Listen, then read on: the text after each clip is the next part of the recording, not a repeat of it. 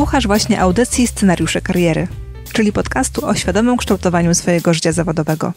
Ja nazywam się Agnieszka Jurkowska i zapraszam Cię do słuchania.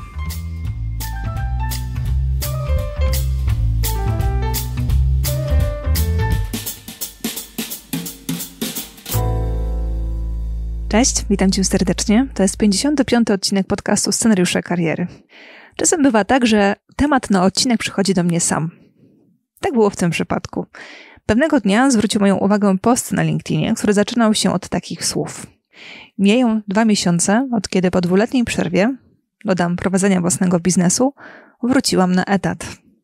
Jego narracja była jakże odmienna od tej, z jaką mam okazję stykać się najczęściej. Zazwyczaj odchodzimy z etatu albo wręcz go rzucamy, poszukując we własnej działalności, prowadzeniu własnego biznesu, spełnienia potrzeby wolności, niezależności i realizacji swoich pomysłów. Zapraszając do podcastu Agnieszkę Szablicką, autorkę wspomnianego postu, moją intencją było to, aby pokazać drugą stronę medalu. Pokazać historię osoby, która zdecydowała się zrezygnować z prowadzenia własnego biznesu i powrócić na etat. Interesowała mnie motywacja Agnieszki, jak również jej doświadczenia z zetknięciem się z rynkiem pracy. W tej rozmowie dużo się dzieje. Dotykamy tematu związanego z obawami Agnieszki przed reakcjami pracodawców. Dotykamy tematu związanego z poszukiwaniem odpowiedzi na pytanie, czy praca etatowa będzie dobra dla mnie. Czy też jak przekonać pracodawcę, czy praca na etacie to nie jest tylko chwilowa potrzeba. Jest o pułapce utraconych kosztów, jest o wstydzie, jest o rozczarowaniu, o porażce, mówieniu prawdy, jest o wierności sobie. Liczę, że ta historia będzie uwalniająca dla tych przedsiębiorców, którzy myślą o pracy etatowej i będzie też ciekawa dla tych, którzy właśnie są na etapie otwierania własnego biznesu. Zapraszam serdecznie do jej wysłuchania. Witam serdecznie wszystkich słuchaczy podcastu Scenariusze Kariery i witam Ciebie, Agnieszko. Cześć, dzięki za zaproszenie. Bardzo dziękuję za to, że zgodziłaś się wystąpić w podcaście i opowiedzieć o kawałku swojego życia zawodowego i w ogóle o kawałku swojego życia. Jestem bardzo, bardzo wdzięczna. Poznałyśmy się na LinkedInie, a dokładnie poznałyśmy się za sprawą Twojego posta. Posta, który mm, wzbudził bardzo duże zainteresowanie, w tym moje, Natomiast nie tylko moje, ponieważ samych reakcji pod postem, mm, tak jak patrzyłam jakiś czas temu, to było ponad 1900 reakcji, prawie 200 komentarzy i w większości przypadków to były pozytywne komentarze. Tak, tak było. Prawda? Ja może powiem, od jakich słów zaczęłaś? Dobra. Zaczęłaś od e, słów. Mijają dwa miesiące od kiedy po dwuletniej przerwie wróciłam na etat. A ja dodam, że ten czas, który nazywasz przerwą, to była budowa twojej własnej firmy, twojego własnego biznesu.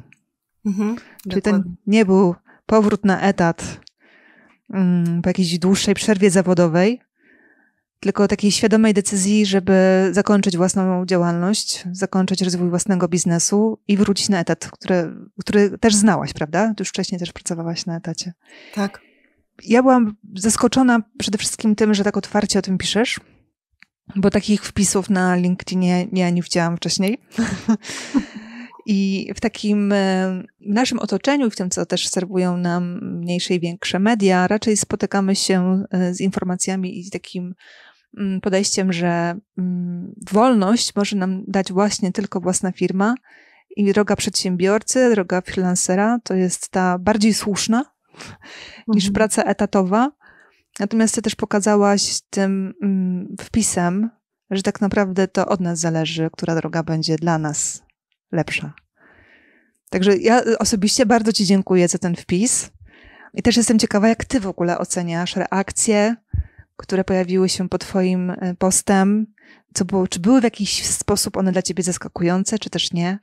I co się w ogóle wydarzyło zaraz potem, bo też wspominałaś chociażby, że sporo osób do ciebie pisało. I też jestem mhm. ciekawa, ciekawa z czym. Wiesz co, to, y, to jest w ogóle dużo różnych rzeczy, o których możemy tutaj opowiadać w tym kontekście. Natomiast ja się podzieliłam mm, tym moim kawałkiem bo miałam taką intuicję, takie przeczucie, że nie jestem jedyną osobą, która się zmaga z takimi, e, z takim dylematem i z takim ze, ze wszystkimi emocjami, które się, które się wiążą z podjęciem takiej decyzji.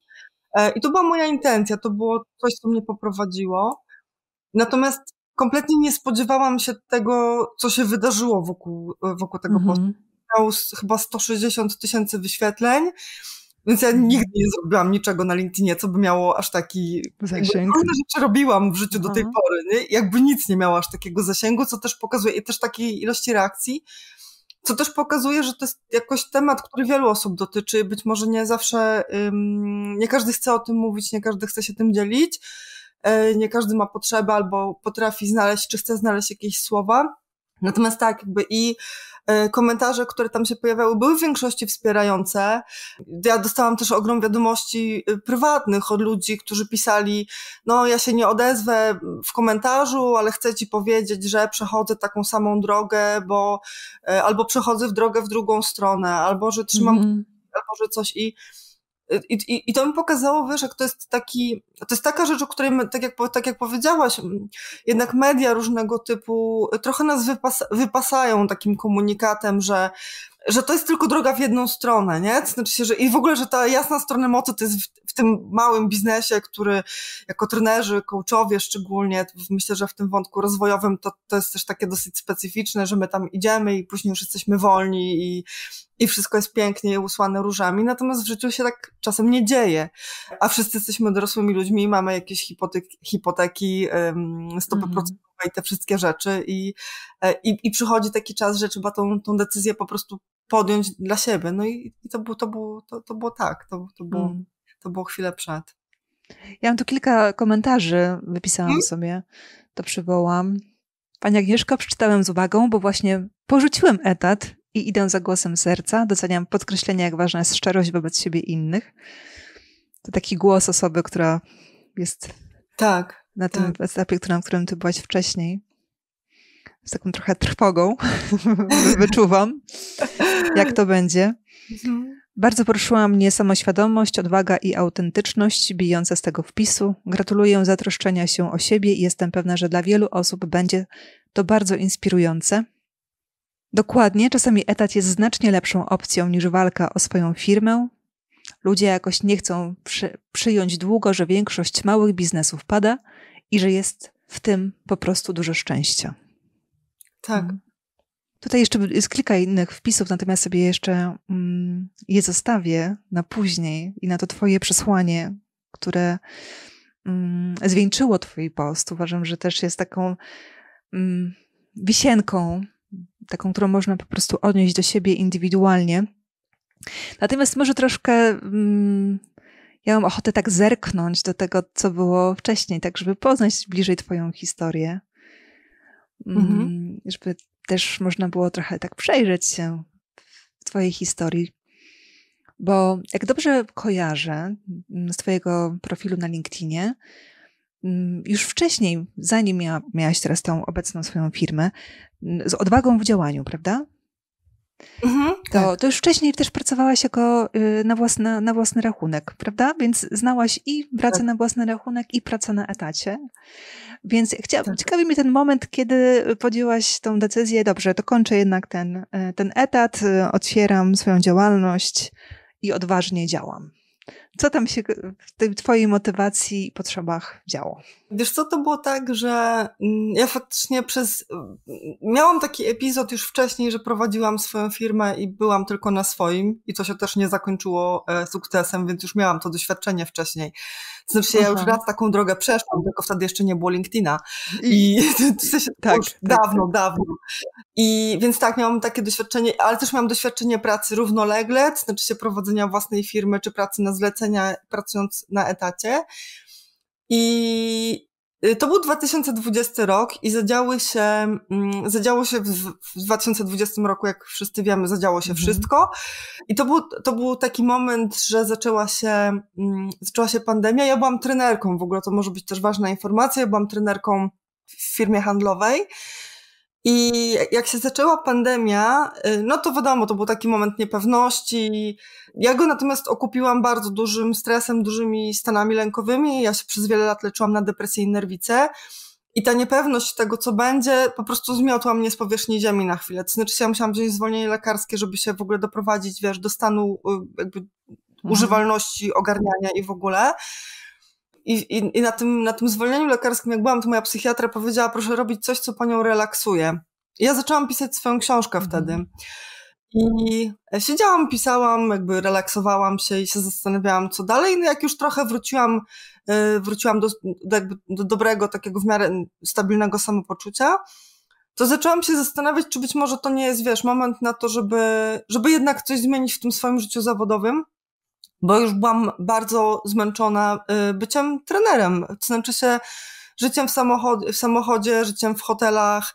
Lubiłam swoją pracę, ona mi dawała dużo satysfakcji, natomiast to był, już to robiłam kilkanaście lat i to już był taki moment, że pomyślałam sobie, może to jest tak, że jakby trochę się świat zmienia, zmienia, zmieniają się różne rzeczy, między innymi wchodzą, wchodzi bardzo praca online'owa. Może bym wróciła do tematu, który jakoś mi, jakoś mi dźwięczy, jakoś mi gra, jakoś też jest powiązany z moją książką i z tym, z tym czym czy, czym chce się, chce się z ludźmi dzielić. I może paradoksalnie w tym szaleństwie będzie metoda, to znaczy się może będzie tak, że, że to, że, że wszyscy jesteśmy przeniesieni do, czy byliśmy przeniesieni do online'u, mi pomoże rozwinąć ten biznes, więc trochę próbowałam łapać, łap, łap, łapać okazję. No i podjęłam taką decyzję, że, że okej, okay, że tak, że, że nie wracam, że nie wracam do pracy etatowej, że, że, że, że, kończę współpracę e, etatową i że przechodzę e, na swoje. Taki był, taki był początek tej historii. Mm -hmm. Czyli tak, potrzeba zatroszczenia się o siebie się pojawiła, tak jak tak. Y, słyszę. Mm, Czyli skorzystanie z jakichś możliwości, które otwierały się mimo wszystko wraz z, z pandemią. Tak trochę inne podejście, połączenie tego, czym zajmowałaś się wcześniej, połączenie z książką. Ja tutaj przywołam książkę pod tytułem Podróż notatki z psychoterapii, także myślę, że też podlinkujemy tak. do notatek mhm. tego odcinka. Mm, czyli kilka takich elementów się wzbiegło, które stwierdziłaś, dobra, to jest dobry pomysł, tak? Dobry moment do tego, żeby otworzyć swój biznes. Czyli na, przypuszczam początkowy entuzjazm. To jest to, co towarzyszyło, czy już jakie, jakiekolwiek gdzieś obawy z własnym biznesem. Wiesz co, ja do tego dość na zimno okay. podchodziłam. To znaczy się, to już była moja któraś, ja jestem w ogóle seryjną przedsiębiorczynią, która kończy swoje przedsięwzięcia porażkami. To jest w ogóle też ciekawy wątek. Naprawdę. Um, więc już miałam na tyle różnych doświadczeń, że wiedziałam, że to trzeba podejść na zimno, więc miałam zabezpieczenie finansowe, miałam przygotowane wszystko, więc to też nie było tak, że wiesz, hej ho, hura, też sporo czasu myślałam nad tym, czy na pewno to jest teraz dobry moment, tak wiesz, żeby mhm. naprawdę ta troska o siebie i ta dbałość o siebie była taka najważniejsza w tym wszystkim. No ale też element ryzyka, wiadomo, w takiej sytuacji jest, nie? No i, no i, no i tak, więc jakby mm, wydawało mi się, wiesz, że przekalkulowałam wszystko. Wyci wyciągnęłaś wnioski nie. z poprzednich porażek, tak, tak żeby tak. było dobrze. To jak wyglądało tak. budowanie twojej firmy? Ja postanowiłam zrobić, jakby połączyć dwa mhm. wątki. Ja jestem trenerką, w tym roku minęło mi 20 lat w zawodzie, więc o szkoleniu ludzi sporo wiem i jestem też coachem, coachką, więc i to był jakby jeden wątek, a drugi wątek to był wątek odwagi, który zawsze był mi osobiście bardzo bliski. I jak się zastanawiałam, jaką przestrzeń ja chciałabym zagospodarować e, biznesowo, coachingowo, szkoleniowo, to pomyślałam sobie, że chciałabym uczyć odwagi rozumianej jako kompetencja. Mm. To znaczy się czegoś, co możemy rozwijać, trenować, co można wręcz, wiesz, rozłożyć do, y, no, do zachowań, po prostu, wiesz, do tak, wskaźniki behawioralne. Zachowań, cech. Zielono. Tak, jakby konkretnie, żeby konkretnie było. I pracowałam indywidualnie, prowadziłam też kursy grupowe, napisałam też e-booka. Wiesz, wszystko wydawało się, że jakby generalnie, że to idzie w dobrą stronę, nie? Więc, więc połączyłam, połączyłam, połączyłam wątek trenerski z wątkiem, z wątkiem odwagowym i tak sobie to, tak sobie to, to poskładałam. I nawet, nawet miałam całkiem sporo, znaczy sporo jak na taki biznes, którego jeszcze chwilę temu nie było, a później był, to nawet miałam klientów, więc... Nagrywaj tak. swój podcast. Nagrywam mhm. swój podcast też, tak. On nawet jest, można sobie go Przypomnij znaleźć. Tytuł. E, z, z odwagą w działanie, tak jak moja marka. Czyli wiele działań podjętych. Też pisałeś w poście, że wiele nauki, prawda? Tak. Szkoleń, tak. inwestycji. Tak, wiesz co, ja tak w ogóle wspominam te, te półtora roku, że ja nic, że ja się głównie uczyłam, to znaczy się i zainwestowanych pieniędzy ogromnej ilości, bo ja robiłam wszystko sama, to znaczy się od postawienia swojej strony internetowej, łącznie ze sklepem internetowym, przez nauczenie się nagrywania podcastów, przez wszystkie wątki trenerskie, mm. przez wątki marketingowe, no, jak to na początku, nie? Sterem, żeglarzem, okrętem i wszystkim innym pracowałam ogromnie dużo, nie? To też jakby myślę, że warto, warto też powiedzieć, bo dla mnie tam 10-12 godzin dziennie to była, to była standardowa, wiesz, przy komputerze i kombinowania, zastanawiania się, douczania się, e, udziału w mastermindach, e, jakichś tam sesji indywidualnych, no na wszystkie możliwe strony, nie? Mhm. Żeby to, e, żeby to, żeby to, żeby to zadziałało. No i do pewnego stopnia też działało, nie? Natomiast jakby nie na tyle, żeby to, jakby jak, jak historia nam za chwilę pokaże, żeby to, no żeby to miało sens w takiej formie, nie? Mm, to co się stało? Co było takim, właśnie taki, takim momentem, które zwoliło takie myślenie, że, że jednak to nie tak droga?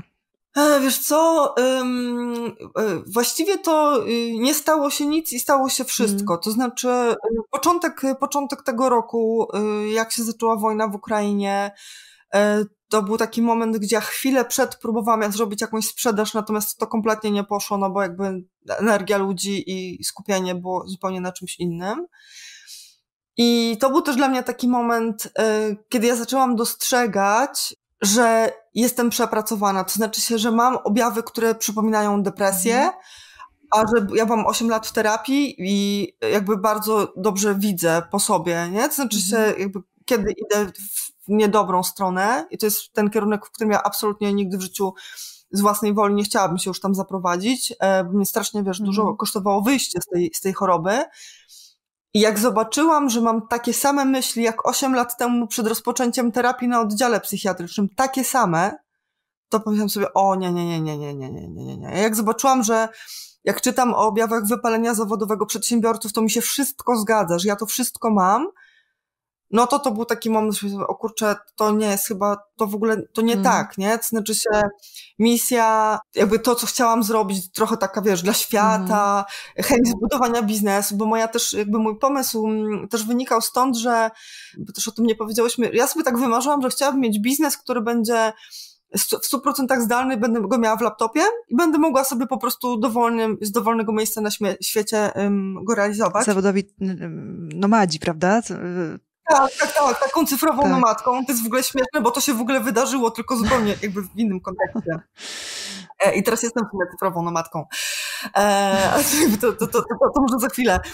Natomiast jakby jak ja zobaczyłam, że moja najważniejsza rzecz w życiu, czyli moje zdrowie psychiczne mhm. i fizyczne idzie naprawdę, że ja cierpię, że jest mi źle, że ja nie śpię, e, że ja płaczę, że ja nie mam pomysłów, że e, mam coraz więcej tych takich objawów, które w ogóle nie pokazują, że ja się, nawet nie chodzi o to, żebym ja się dobrze bawiła w tym biznesie, mm. bo to jest też myślę kolejny mit, którym jesteśmy, wiesz, jakoś tam wypasani, tylko chodzi o to, że ja jakby, ja mam trzęsące i mi się ręce trzęsą, jak ja siadam do laptopa. Mm. Myślę sobie, o nie, nie, nie, nie, nie, to jakby żadna misja, żadna ambicja to nie jest tego warte, to, tak. to, to nie. I i ostateczną decyzję podjęłam w, na Wielkanoc. Na Wielkanoc podjęłam decyzję. Czyli jakieś dwa miesiące. Tak, w lutym tak jakoś do mnie dotarło i, hmm. i, i tam się jeszcze trochę z tym boksowałam, boksowałam.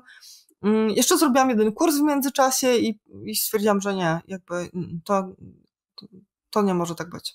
I to jest właśnie to, co mi bardzo ujęło też w Twoim wpisie. Napisałaś, zrozumiałam, że nie ma takiego marzenia o biznesie, nie ma takiej ambicji, nie ma takiej misji, która sprawiłaby, że poświęcę swoje, swoje, przepraszam, poświęcę swoje zdrowie. Tak, to przejęzyczenie to jest to, tak, tak swoje życie też. Widzisz, widzisz. Tak, tak. tak Bo tak, tak, tak. Ja, wiesz, jak nawet o tym czytałam, mm, tak uruchomiały mi się różne, różne refleksje przed naszym nagraniem. Co tak naprawdę jest najważniejsze w kontekście naszego działania, osiągania, bycia, życia. Mm, mhm. Bo to, że chcemy się rozwijać, jest myślę czymś całkowicie naturalnym i bardzo naturalnym dla nas wszystkich, po prostu ludzi. Jest taki właśnie chęć działania, chęć przekraczania pewnych granic, próbowania, prawda? Natomiast tak. w kontekście motywacji, w co się angażujemy, no, na pewno gdzieś to jest jakąś kalkulacją. Często są te pytania, iść pracować zgodnie z pasją, jak się przygotowywać, gdzie tu jest to chłodne podejście, gdzie tu jest ta ten po, to mm, poderwanie, tak, takie, takie pozytywne do, do działania. Prawda, jak, jak, wszędzie leży po środku. Natomiast to, co ja bardzo wierzę w kontekście w ogóle tego, co robimy i tego, czy coś robimy, czy nie, i tych decyzji, które podejmujemy, to podstawą jesteśmy my sami, nasze samopoczucie i nasz e, dobrostan. Takie proste tak. pytanie, jakie się w tym czuję, w czym jestem i w imię czego robię to, co robię. I jestem, myślę, że też pewna, że e, na końcu i tak, nawet jeżeli odrzucamy to pytanie, jak się w tym wszystkim czuję, jak mi z tym jest, to i tak do tego, do, jakby do tego, do tej informacji i do tej odpowiedzi dojdziemy. Tak. Prawda? Ty masz, e, myślę, że twoje doświadczenia gdzieś już pokazały ci, prawda? Gdzie jesteś, na co zwracać uwagę z dużą świadomością. Do tego podeszłaś. Natomiast e, no, myślę, że to takie dosyć proste, ale nieoczywiste, bo często odrzucamy to, czy myślimy, że na przykład nie chce mi się, ale muszę, ale powinnam, prawda? Mhm. Natomiast co się kryje tak. pod tym nie chcę, prawda? Tak, czy to jest nie chcę, czy to jest nie chce mi się, nie? Mhm. Jakby co ja sobie próbuję sam czy sama powiedzieć. Myślę sobie, wiesz, to, że to jest też tak, że w przypadku biznesu, czy może też może w innych, ale już pomyślałam teraz o biznesie, że łatwo w pułapkę utopionych kosztów wpaść, nie? Mm. Znaczy się, że już tyle za, jakby, za, ja mam, ja myślę, że ja też byłam tak, wiesz, na, na, na granicy, żeby, żeby w to nie, nie wpaść, no bo jak pracujesz nad czymś z takim wysiłkiem, z takim zaangażowaniem i to nie jest tak, że to nie przynosi efektu, mm-hmm. bo to nie jest tak, że, mi, że mój biznes nie zarabiał, ja mam nawet, wiesz, podatek do zapłacenia za, za, za, za tamten rok, nie? Co jest w ogóle sukcesem.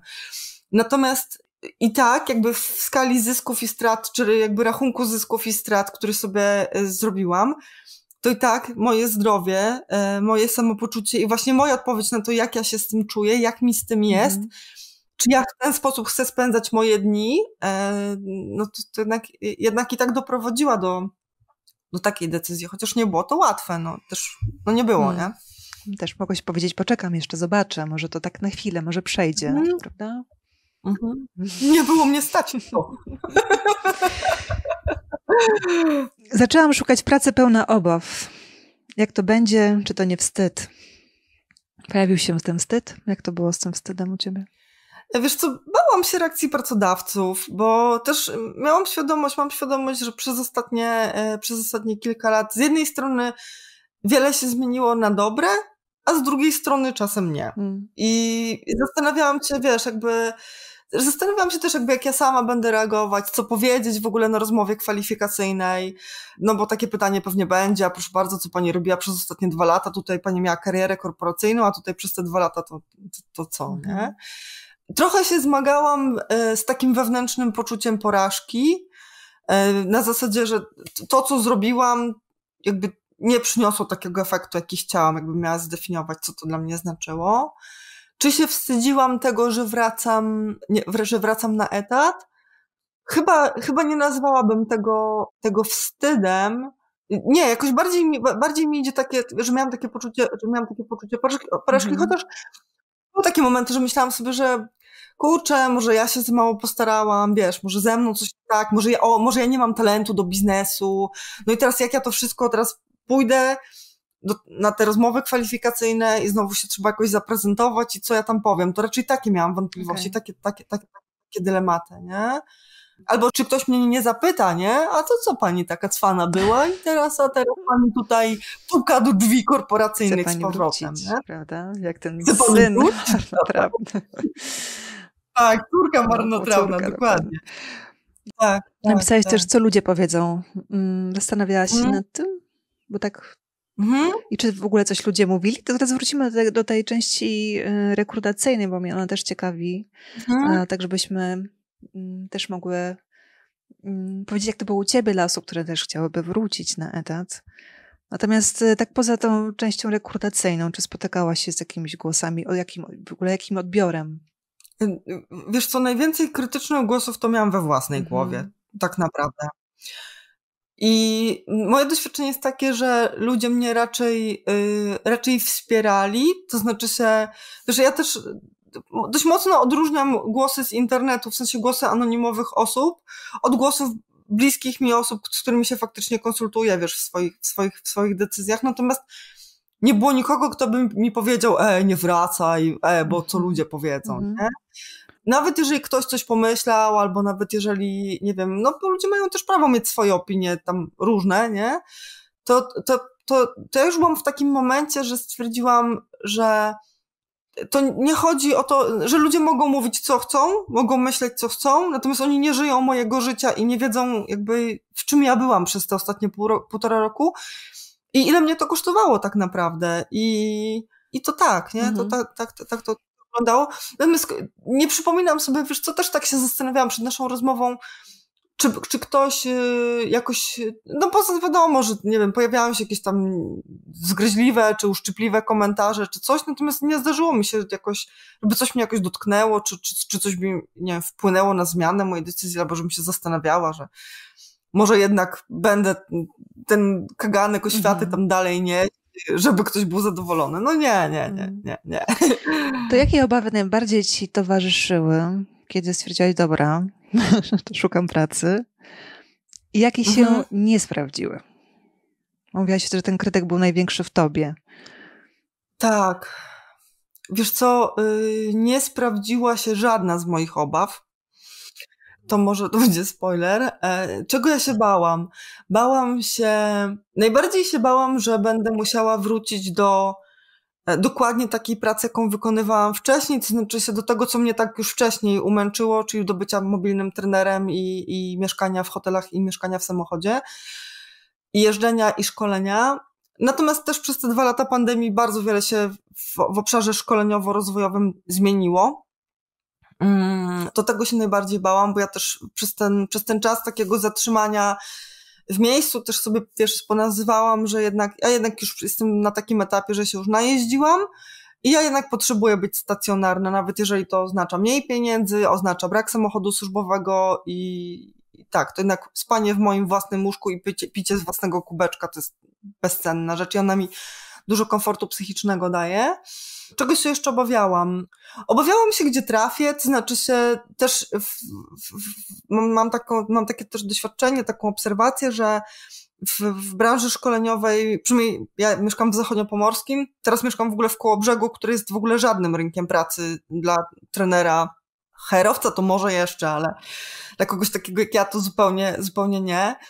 E, więc się, więc się bardzo bałam, jakby, gdzie ja w ogóle trafię, mieszkając tu, gdzie mieszkam i, i czy będę w stanie w ogóle pracować w zawodzie, e, będąc tu, gdzie jestem. To się też nie sprawdziło, bo okazało się, że COVID przyniósł dary losu w postaci pracy zdalnej i, i, i tak moja praca obecnie wygląda.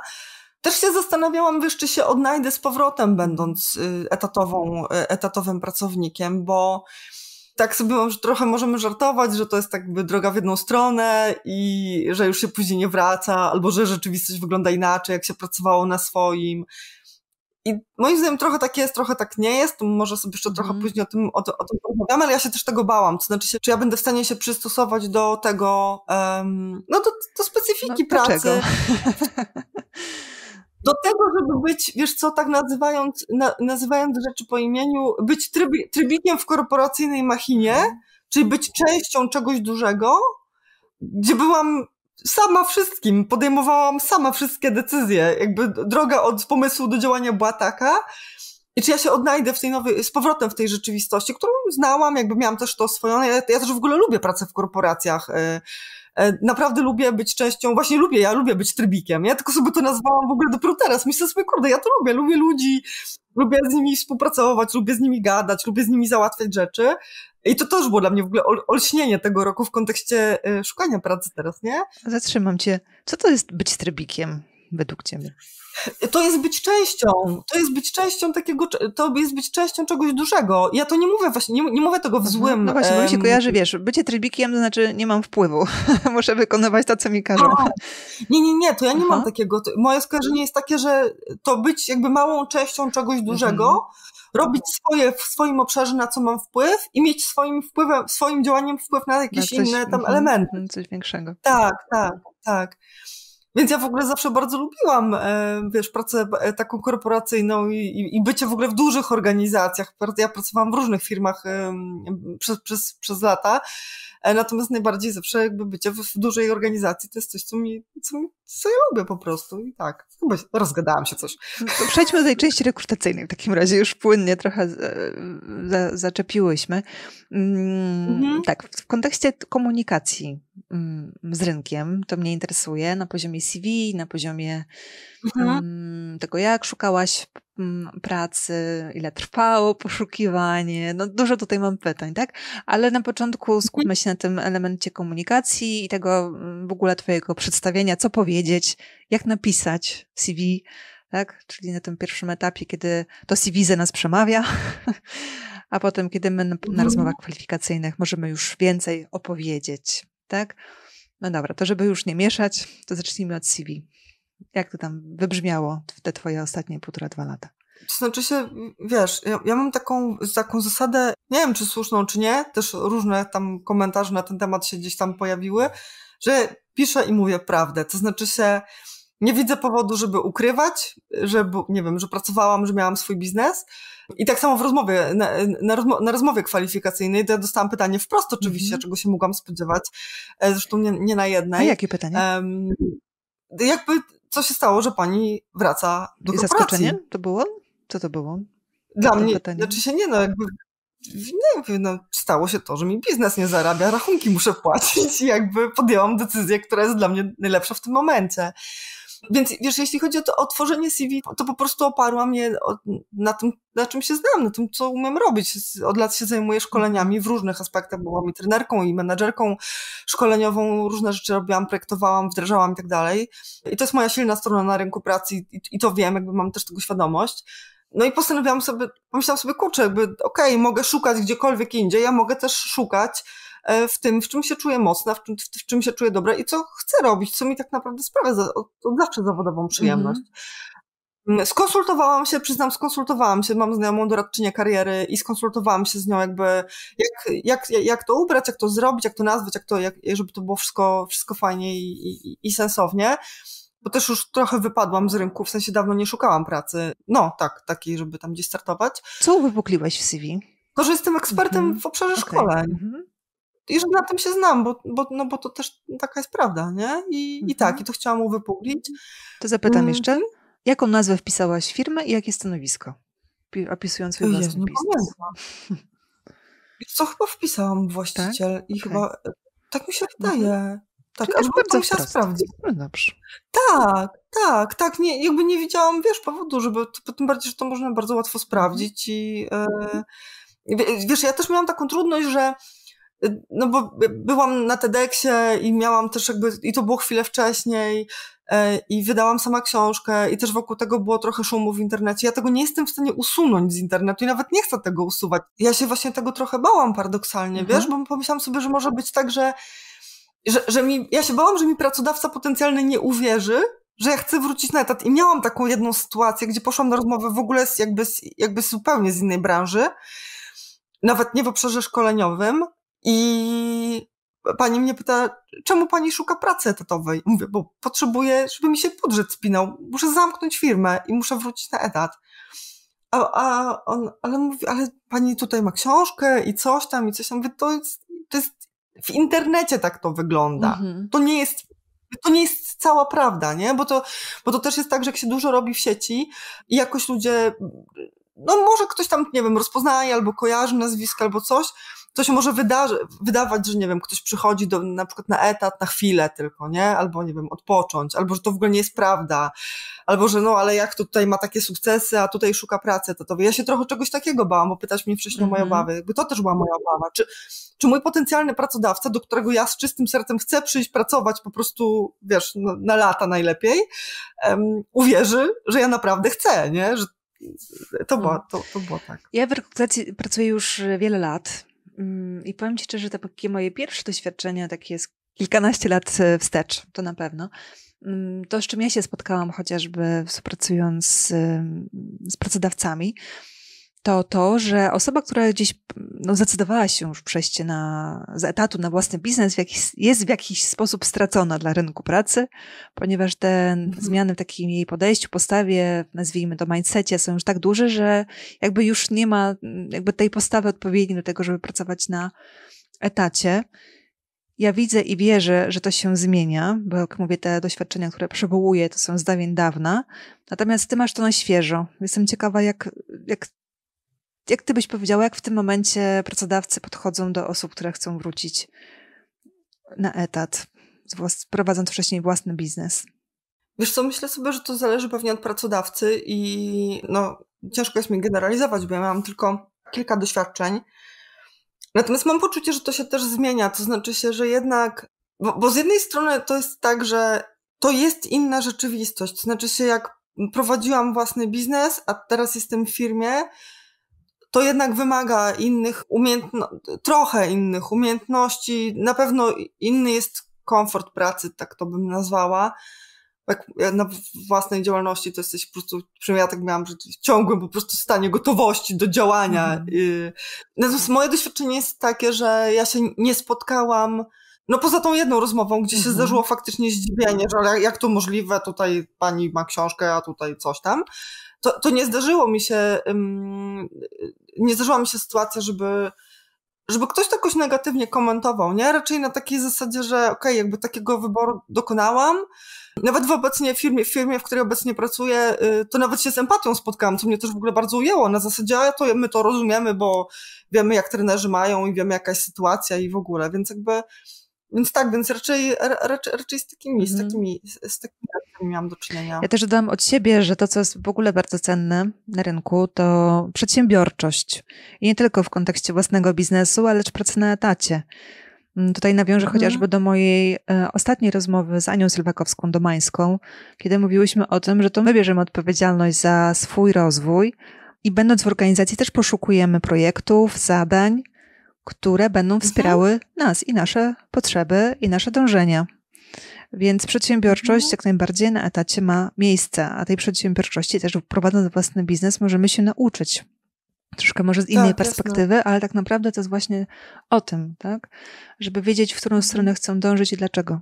Mhm. Też myślę też o jakiejś proaktywności, o, wy, o wychodzeniu tak, z inicjatywą. Dokładnie tak. Go bardzo, tego, tego praca na swoim bardzo uczy. I też takiej, myślę sobie, samodzielności w myśleniu, w mhm. działaniu.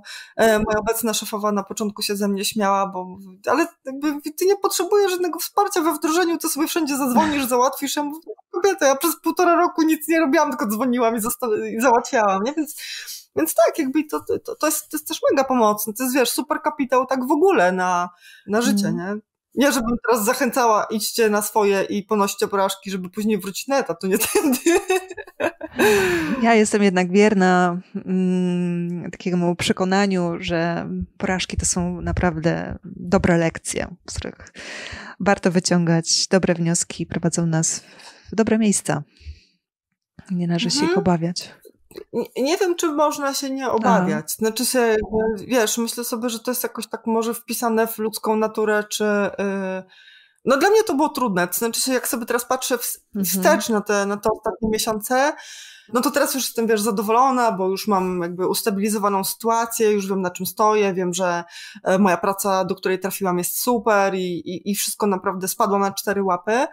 Natomiast ten moment decydowania, ten moment takiego mierzenia się ze sobą i przyznania się też przed sobą, że doszłam jednak do jakiejś ściany we własnym biznesie i że po prostu potrzebuję tą decyzję podjąć inną, jakichś takich niezrealizowanych ambicji własnych. Też pytałaś mnie o wstyd wcześniej. To jakby, no to cały czas mi wraca taka myśl, że to było, że miałam taki, takie trudne uczucie, które się ma, jak się nie zrealizuje czegoś, co by się chciało. Rozczarowanie to jest to trudne mm -hmm. uczucie. O, to byłam, jakby nie, bo nie czułam się zawstydzona, ale czułam się mocno rozczarowana i sobą, i tam różnymi rzeczami.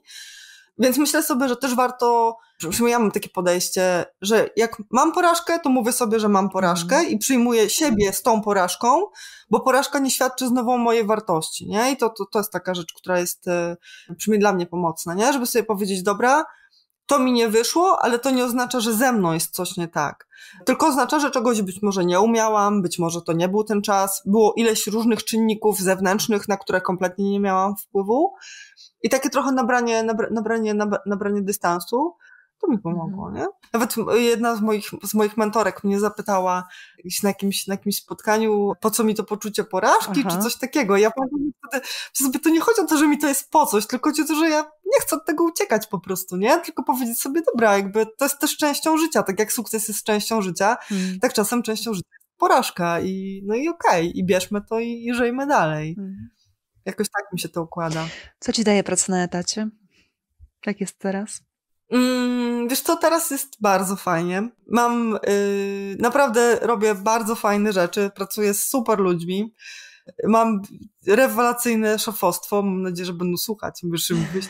Koniecznie. E, nie, ale naprawdę, to znaczy się, to jest też tak, że wiesz, jakby na jakimś etapie kariery zawodowej, ja przynajmniej jestem w takim momencie, że też wiem, że są rzeczy, na które mam zgodę, na które nie mam zgody i są jakby, jest jakby rodzaj pracy, ludzi, relacji, z którymi chcę mieć do czynienia w swojej pracy zawodowej e, i z takiej, z którym nie chcę, więc trafiłam na, miejsce, które jestem, mam wrażenie, że jestem w ogóle idealnie zrekrutowana i dopasowana. Z powrotem pierwszy raz od lat pracuję po angielsku, co mnie też po prostu bardzo, bardzo, bardzo cieszy. Jak kończę pracę, to zamykam laptopa, biorę psa nad morze, i odpoczywam. I to jest coś wspaniałego i śpię i wysypiam się i um, no to jest coś, czego nie doświadczałam, wiesz, przez bardzo długi czas wcześniej, e, więc jestem za to niesamowicie wdzięczna i no tak, więc teraz jest dobrze. Teraz jest dobrze i mam poczucie, że mimo tego, że ta decyzja, którą dla siebie podjęłam, naprawdę nie była łatwa i z wieloma rzeczami mnie skonfrontowała, to się bardzo cieszę, nie? Robię sobie, wiesz, tutaj głaska, się sobie ogarnęłaś Szabicka, nie? Było łatwo, ale ogarnęłaś. Mm, tak. Gratulacje. Brzmi to wspaniale. Dziękuję. Mm, to tak już zmierzając ku końcowi, tak sobie myślę, też tak trochę czerpiąc już e, z tych twoich doświadczeń, którymi się już tymi przemyśleniami mm, dzielisz, co byś powiedziała osobom, które znajdują się w podobnej sytuacji jak, jak ty? Które zastanawiają się, co zrobić, które zastanawiają się, jak to będzie znowu wyjść na rynek pracy, w czym byś chciała ich zostawić? Co mhm. uważasz, że jest najważniejsze? Wiesz co, że bardzo, że najważniejsze jest moim zdaniem być w zgodzie ze sobą. Mhm. Że i, i z tym, co jest dla nas ważne, nie wiem, jeżeli, jeżeli ktoś czuje, że jego zdrowie czy jej zdrowie cierpi um, na realizacji planu, marzenia czy jakiegoś celu, to być może można znaleźć jakąś inną drogę do tego. I druga rzecz jest taka, że ten lęk, co ludzie powiedzą, e, jak ja wypadnę, on zawsze będzie, w sensie jakby trudno jest się go pozbyć i może nawet nie chodzi o to, żebyśmy się jakoś go pozbywali. Natomiast ostatecznie to każdy z nas, to jest taki farmazon, ale naprawdę każdy z nas żyje sam swoje życie i e, ludzie dookoła mogą mieć opinie, mogą mieć pomysły, mogą mieć przemyślenia i, i, i różne tam swoje, swoje, swoje tam pomysły na to, Natomiast ostatecznie to my żyjemy ze, jakby w swoje życie i to my możemy podejmować decyzje takie, które są dla nas dobre i, i takie, które uważamy za słuszne i właściwe dla, dla siebie. Mm. W którą stronę one by nie były, nie? Bo to przecież to może być tak, tak, albo jakaś wersja kombinowana, różne są, różne są mm. rzeczy. No właśnie. Dziękuję Ci, Agnieszko. Mm, zapytam, czy chciałabyś zostawić jeszcze naszych e, słuchaczy z jakąś podpowiedzią, czy książki, czy podcastu, czy osób, które warto obserwować? Właśnie się zastanawiałam. Um, to, to, jest, to jest skomplikowane, bo ja dużo podcastów słucham, bardzo dużo i z różnych, z różnych dziedzin. Ale to, co mnie bardzo inspiruje, czy osobą, która mnie bardzo inspiruje, jest Gosia Leduchowska i jej mhm. wysoko wrażliwy podcast, więc, więc tam, was, tam was zaproszę. E, ostatnio też zupełnie z innej beczki bardzo mnie fascynuje podcast Marcina Marcina Iwucia tak. o finansach osobistych i też go namiętnie go słucham, więc tak z zupełnie dwóch różnych, dwóch, dwóch różnych branż. To, to, to, do tego zapraszam. Świetnie. Nasz odcinek się ukaże już po konferencji Percaster, natomiast ja jestem tuż przed konferencją mm Percaster. Więc jak najbardziej będę miała okazję spotkać się z Małgosią, na co się bardzo cieszę. Mhm. Także podlinkujemy oba wspomniane podcasty i cieszę się, że możemy tutaj wspierać słuchalność też polskich podcastów. Także e, Twój Agnieszko też podlinkujemy. Kilka miałam okazję podsłuchać odcinków, także również polecam z gorącym e, sercem e, sięgnięcie i, i posłuchanie.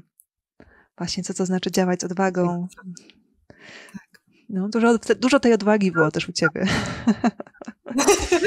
tak, to, to, jest jakaś taka jedna z, wiesz, z moich takich najważniejszych w ogóle życiowych wartości i, mhm. i takie, te, te, szczególnie ta odwaga właśnie do bycia w zgodzie ze sobą, do życia po swojemu i no, do, do deptania tej swojej ścieżki, tak jak, tak jak ja czuję, tak jak jest dla mnie, dla mnie dobrze i dla mnie okej. Okay, Cieszę się, że ta najważniejsza rzecz wybrzmiała, bo byłam ciekawa, co tutaj się najważniejszego kryło w całej twojej historii i decyzjach, które podejmowałaś, ale tak, bardzo się to, bardzo się to spina. Także jeszcze raz bardzo, bardzo dziękuję. Dziękuję Ci bardzo za zaproszenie i za tę rozmowę. Agnieszka swój post na LinkedInie kończy takimi słowami. Piszę Ci o tym, bo może i Ty jesteś w momencie trudnej decyzji, biznesowej czy życiowej. Decyzje uruchamiają szereg lęków. Głowa wymyśla pierdylion scenariuszy. Wiadomo. To, co możesz wtedy dla siebie zrobić, to zadać pytanie. Co będzie dla mnie dobre? Co mi posłuży? Dobre nie zawsze będzie znaczyć łatwe, nie zawsze będzie znaczyć wygodne. Dobre znaczy wynikające z głębokiej, mądrej, dorosłej troski o siebie. To jest ta wisionka na torcie, o której wspominałam podczas rozmowy z Agnieszką. A ja dodam jeszcze od siebie dwie rzeczy. Po pierwsze, nie jest najważniejsze to, czy pracujesz na etacie, czy masz własny biznes, tylko to, czy świadomie idziesz za tym, co cię buduje i wspiera, co działa dla ciebie, a nie przeciwko tobie. Druga myśl z kolei dotyczy słów Agnieszki o tym, że została idealnie zrekrutowana i dopasowana. Często zastanawiamy się, jak się przedstawiać, co o sobie mówić podczas rozmów o pracę. Z moich doświadczeń w pracy jako coach, mentorka kariery i rekruterka wiem, że dobre dopasowanie do roli i firmy często jest wynikiem tego, jak dobrze znamy siebie i na ile zdecydujemy się opowiedzieć o sobie. Nie tylko o swoich doświadczeniach zawodowych, ale również o swojej motywacji, dążeniach, wartościach, a nawet potrzebach. I wierzę, że Agnieszka została dobrze zrekrutowana, ponieważ dała się poznać przyszłemu pracodawcy i szczerze mówiła o tym, co jest dla niej ważne. Jeśli tylko mierzysz się z dylematem etat czy własna firma, jak wrócić na etat albo jak z niego odejść, zapraszam Cię serdecznie do współpracy. Wystarczy, jak do mnie napiszesz albo zadzwonisz. Kontakt do mnie znajdziesz na mojej stronie insideskills.pl, na LinkedInie i na Facebooku. I oczywiście zapraszam Cię do słuchania kolejnych odcinków podcastu Scenariusze Kariery. Znajdziesz je na mojej stronie oraz na kanałach do słuchania podcastów takich jak Apple Podcast, Spotify, Google Podcast oraz na YouTubie. Wystarczy, jak wyszukiwarkę wpiszesz Scenariusze Kariery. Pozdrawiam Cię już serdecznie i do usłyszenia.